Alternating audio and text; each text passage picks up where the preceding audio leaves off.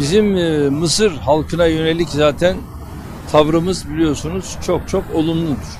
Cumhurbaşkanı Recep Tayyip Erdoğan Cuma namazı çıkışı gazetecilere gündemi değerlendirdi. Mısır'la normalleşme sürecine değinen Erdoğan, Mısır halkıyla Türk milletinin tarihe dayalı olan bir birlikteliği var dedi. Bizim e, Mısır halkına yönelik zaten tavrımız biliyorsunuz çok çok olumludur.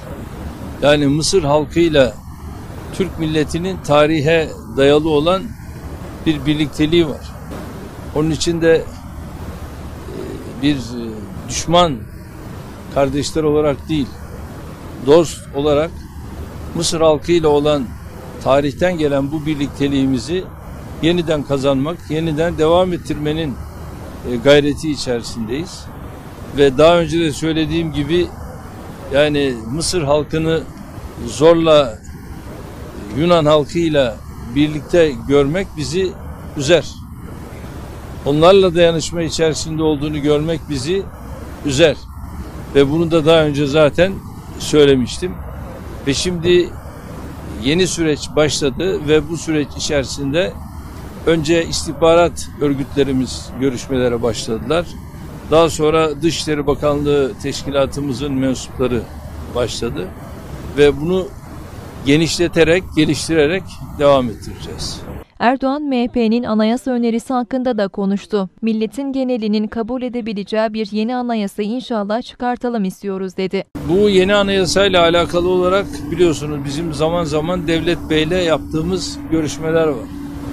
Kah külliyede yaptığımız görüşmeler, kah Sayın Devlet Bey'in evinde yaptığımız görüşmeler. Bu görüşmelerde zaten birçok meseleyi, ülkemizin meselesini görüşme imkanını buluyoruz. Bunların arasında son dönemde de tabii yeni anayasayla ilgili konuları da görüştük ve hazırlıklarımızı kendileriyle paylaşacağımızı da konuştuk, görüştük. Ve şu anda onlar belli bir noktaya geldiler ve bu hazırlıklarını da bize aktardılar, gönderdiler. Bizim hazırlığımız da şu anda bitti, bitmek üzere. Bittiği andan itibaren biz de aynı şekilde yaptığımız anayasa hazırlığımızı kendilerine takdim edeceğiz. Ve daha sonra da bunlar üzerinde bir ortak çalışmayı yapacağız. Bununla da kalmayıp muhalefete de takdim edeceğiz. Bununla da kalmayacağız. Daha sonra sivil toplum örgütleriyle de yine bu yaptığımız hazırlıkları inşallah paylaşmak suretiyle yani milletin genelinin kabul edebileceği bir yeni anayasayı inşallah çıkartalım istiyoruz.